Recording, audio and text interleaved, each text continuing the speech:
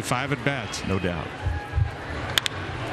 Heyward turns that one around and hits it hard into right. Around third and coming in is Bote, and he's safe.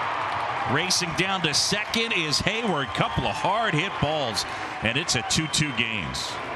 Bote, who struck out first time, knocks the double. Heyward, who has good numbers against Castillo, gets on top of this elevated pitch and rips it to right for an RBI knock.